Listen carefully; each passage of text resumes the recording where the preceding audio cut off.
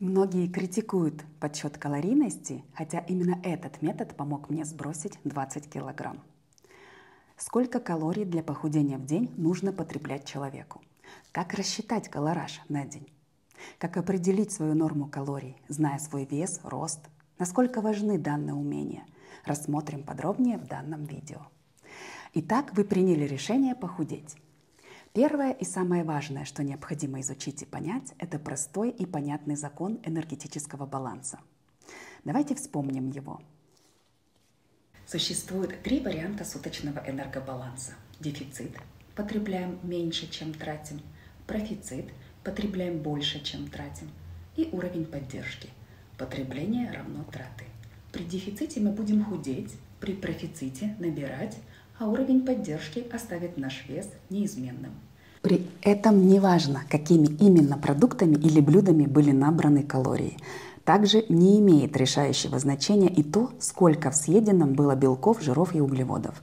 Неважно, сколько было съедено сахара, майонеза, жира для набора веса или похудения, важны только общее количество съеденных и потраченных калорий.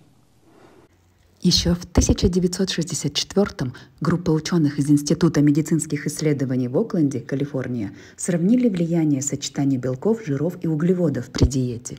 Участники, страдающие от ожирения, в течение 10 недель питались коктейлями, получая неизменное число калорий – 800, 850 и 1200, в зависимости от собственного веса. Каждые 3-4 недели исследователи меняли форму, варьируя долю белка от 14% до 36% общего числа калорий, жира от 12 до 83 и углеводов от 3 до 64. Все участники худели с той же скоростью при любом сочетании белков, жиров и углеводов. Решал общий дефицит калорий. Неважно, какими именно продуктами или блюдами набраны калории, не имеет решающего значения и то, сколько в съеденном белков, жиров и углеводов. Для набора веса и похудения важны только общее количество съеденных и потраченных калорий. То есть можно питаться хоть только в одном Макдональдсе, но с дефицитом калорий все равно худеть? Да, все верно. Такой эксперимент тоже проводили и не раз. Один из самых известных Преподаватель средней школы из Айовы Джин, Джон Цисна в рамках школьного эксперимента по естествознанию решил питаться три месяца исключительно в Макдональдсе. За эти три месяца Джон похудел на 17 килограмм, и это его настолько поразило, что он решил продлить свой эксперимент еще на три месяца. Всего за полгода потеря в весе составила около 30 килограмм. Преподаватель Джон Цисна показал на личном примере, что дефицит калорий – единственное, что гарантирует похудение – даже если питаешься только в Макдональдсе. Безусловно, я не призываю питаться в Макдональдсе, чтобы похудеть. Во-первых, потому что в фастфуде много пустых калорий. Еда богатая калориями, но бедная витаминами, минералами, полезными нутриентами, а это не очень хорошо сказывается на общем самочувствии. Во-вторых, потому что держать дефицит калорий на такой еде сложнее. Аналогичный эксперимент с фастфудом позволил студенту университета Индианы Джареду Фоглу заработать свыше 15 миллионов долларов, став лицом компании Subway. Он весил 193 килограмма при росте 185 сантиметров. Но однажды его жизнь круто изменилась после того, как он начал питаться с дефицитом калорий и только в Subway. Он сам придумал себе диету с дефицитом. 18-сантиметровый сэндвич с индейкой на обед, бутерброд с овощами на ужин и одну банку колы и, и пачку запеченных картофельных чипсов. За первые три месяца он похудел на 42 килограмма, за год на 111 килограмм, благодаря такому питанию с дефицитом калорий. Для похудения, но не для здоровья, имеет значение, сколько вы едите в калориях, а не что именно – Джаред Фогл похудел со 193 до 82 килограмм за год питания в Subway с дефицитом калорий. Но не следует подражать Фоглу. Это пример лишь для того, чтобы усвоить главное – дефицит калорий всему голова. Есть дефицит калорий, и неважно, какими продуктами и по какой причине, есть похудение. Нет дефицита калорий – нет похудения. Ведь верно и обратное – можно набирать вес, питаясь исключительно полезными продуктами. Овощами, фруктами, куриной грудкой на пару, брокколи и киноа. Ведь перебрать свою норму калорий можно любыми продуктами. Что такое калория? С биологической точки зрения одна калория – это то необходимое количество энергии, которое расходуется на нагревание 1 грамма воды на 1 градус Цельсия при нормальных атмосферных условиях. Данная величина крайне мала, поэтому подсчет нормы калорий в день ведется в более крупной величине – килокалория – Ценность любой еды можно измерить в калориях, которые организм способен из нее добыть. Например, в огурцах всего лишь 15-16 килокалорий на 100 грамм, а в темном шоколаде около 550 калорий на тот же вес. Соответственно, из более калорийной пищи вы сможете получить больше энергии. В одном грамме белка или одном грамме углевода всегда содержится около 4 калорий.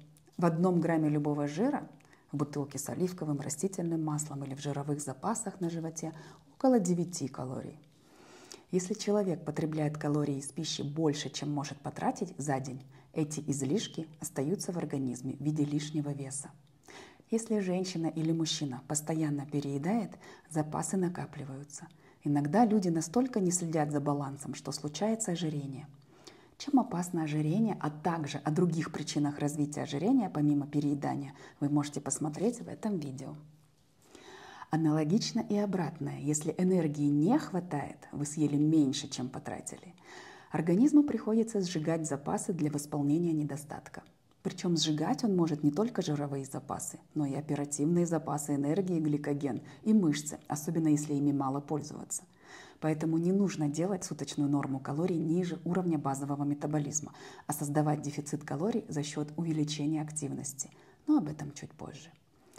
Как и на что организм тратит энергию, калории? Для создания дефицита важно понимать не только откуда берутся калории и сколько их в разных продуктах, но и на что эта энергия тратится. Вот на что средний человек тратит свои калории. Базовый метаболизм около 60-70% всех расходов – Обратите внимание, какую большую долю занимает в расходах базовый метаболизм. Около двух третьих энергии от нашей нормы уходит на базовый метаболизм, просто поддержание жизнедеятельности, работу сердца, печени, легких, селезенки и всех прочих органов. Это та энергия, которая будет потрачена в любом случае, даже если вы будете только лежать в кровати. Это важно понимать, потому что питаться долго ниже уровня базового метаболизма ни в коем случае не следует. Вот почему дальше я буду рекомендовать лишь небольшой дефицит, до 20%.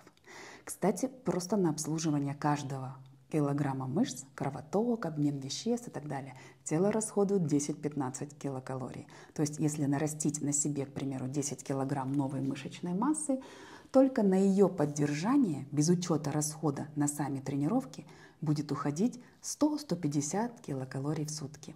Для сравнения, на обслуживание 1 килограмма жировой ткани уходит только 4,5 килокалорий в день. Расходы на переваривание пищи, термический эффект пищи, около 10%. Эти расходы принято относить именно к расходам, а не учитывать сразу в калорийности еды и выделять в отдельную категорию – в среднем на переваривание и усвоение пищи уходит около 10% от содержащихся в ней калорий. Но это число может сильно варьироваться – от 3 до 30%. Больше всего тело тратит на переваривание белковой пищи – максимум до 30% от ее калорийности. Меньше всего на фрукты, овощи, зелень, например, сельдерей – лишь 3-10% от их калорийности – Соответственно, не существует продуктов, на переваривание которых тратится больше калорий, чем в них содержится. В то же время общие расходы на термический эффект пищи можно немного повысить, если есть больше белковой пищи.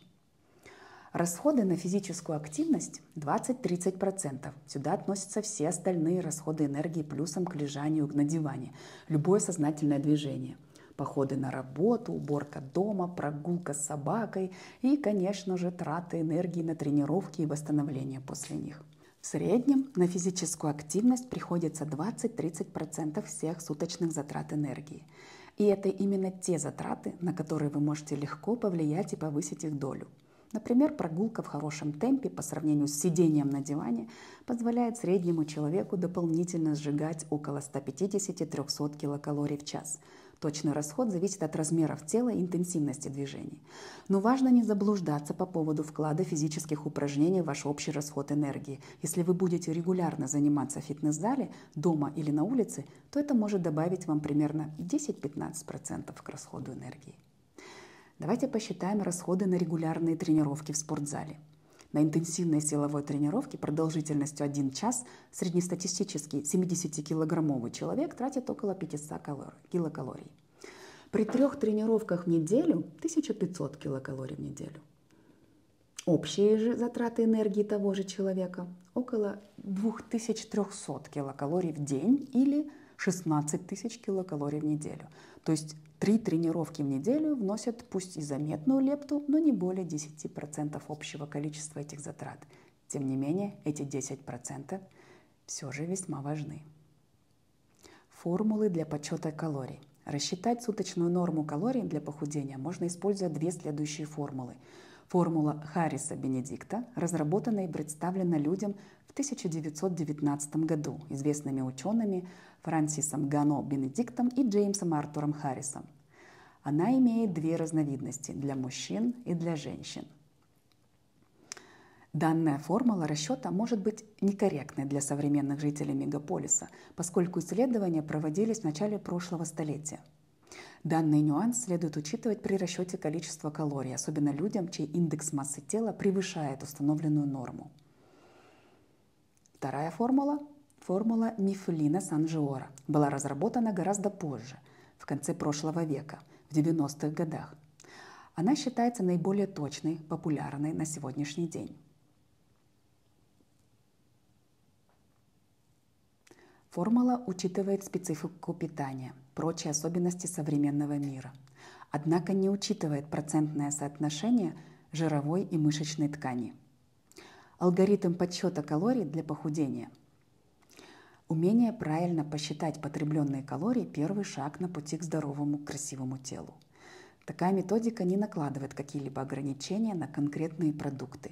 Но если ежедневно считать весь рацион, то становится понятным, что куда лучше съесть тарелку мясного салата, чем небольшую шоколадку или какое-либо кондитерское изделие. Калорийность их примерно одинакова, но питательная ценность значительно отличается. Подсчет нормы калорий считается эффективным способом похудения, входит во многие системы снижения веса. Объясняется это следующими преимуществами. Данный метод предусматривает разумный подход к питанию, без стресса, серьезных ограничений. Организм легко переносит новый рацион – Умение высчитать количество потребленных калорий позволяет подобрать полноценный рацион, богатый питательными компонентами, витаминами, минералами, что отличает такую методику от различного рода диет и голодания. Каждый человек может самостоятельно определить, сколько калорий нужно употреблять в день. Для этого существует специальный калькулятор калорий для похудения онлайн. Это может быть полезным для тех людей, у которых нет возможности обратиться к грамотным специалистам в клинику снижения веса из-за удаленности населенных пунктов от городских центров, различных материальных ограничений, жизненных обстоятельств. Счетчик калорий позволит бесплатно рассчитать рацион, включить любимые блюда, обеспечить соблюдение пропорций белков, жиров, углеводов – Алгоритм расчета состоит из трех последовательных шагов. Первое. Расчет базового уровня метаболизма. Второе. Определение дневной активности. И третье. Расчет конечного результата. Рассмотрим подробнее каждый из них. Шаг первый. Посчитать базовый уровень метаболизма. Для начала по одной из наиболее удобных формул следует рассчитать базовую скорость метаболизма. Пример. Женщина ростом 164 сантиметра, весом 68 килограмм, в возрасте 44 лет необходимо ежедневно потреблять не менее чем... Так, сейчас мы посчитаем. 1396 калорий. Данного количества энергии будет достаточно для обеспечения жизнедеятельности. Шаг второй. Определить дневную активность. Полученное значение базового обмена веществ необходимо умножить на коэффициент активности. 1,2 – низкая активность, полное отсутствие спорта. 1,375 – малоподвижный образ жизни, легкая физическая активность 1, 2, 3 раза в неделю. 1,55 Средняя активность. Достаточная нагрузка 2-4 раза в неделю. 1.725 – это активный образ жизни, подвижная работа, тренировки порядка 5 раз в неделю. 1.9 – высокая активность, подвижная работа, ежедневные активные тренировки. Допустим, женщина ходит на фитнес 3 раза в неделю. Тогда 1396,2 мы умножаем на 1,55. 2164 калории. Данное значение и есть необходимая суточная норма. Именно столько калорий в день необходимо потреблять. 2,164. Шаг третий. Рассчитать конечный результат. Для получения конечного результата необходимо вычесть из полученного значения 500-700 калорий. Именно столько необходимо потреблять день для похудения. Значит, 2164 мы отнимаем Например, 500. 1664 калории, килокалории. Именно столько требуется организму, чтобы начать худеть. Практика показывает, что трудно поддерживать норму ежедневно. Диетологи предлагают установить минимальную нижнюю, максимальную верхнюю границу. Это поможет избежать срывов. Если очень хочется что-то запрещенное, можно съесть это. Но на следующий день немного снизить норму. Верхняя граница – норма калорий плюс 100, нижняя граница – норма калорий минус 200. Кроме того, рекомендуется соблюдать соотношение белков, жиров, углеводов. Белок 10-25% от суточного рациона, жиры 20-35%, углеводы 45-65% но я больше привыкла рассчитывать по граммам на вес тела. Белки, если при, занимаюсь спортом три раза в неделю, то полтора, 1,6 грамма на вес тела. Например, 68 килограмм умножаем на полтора. 102 грамма белка. Жиров не более 50 Так. И углеводов оставшееся количество от планки. Таким образом мы себе рассчитываем дневной колораж с разбивкой по БЖУ. Данные соотношения могут незначительно меняться в зависимости от конкретной цели. Снижение массы тела, набор веса, рост мышечной массы. Худеть быстро и эффективно в домашних условиях нетрудно. Подсчет калорий снижает ограничения, позволяет вписывать любимые продукты. Главное – добросовестно вести дневник, записывать каждый потребленный продукт, каждый кубик сахара. Подсчет калорий я рекомендую вести в приложении Fat Secret. Об этом, как вносить, а, как пользоваться этим приложением, я сниму отдельное видео. Надеюсь, теперь вы рассчитали свою дневную норму калорий и и вам не составит труда снизить вес. Желаю вам успехов и удачи в похудении. До новых встреч!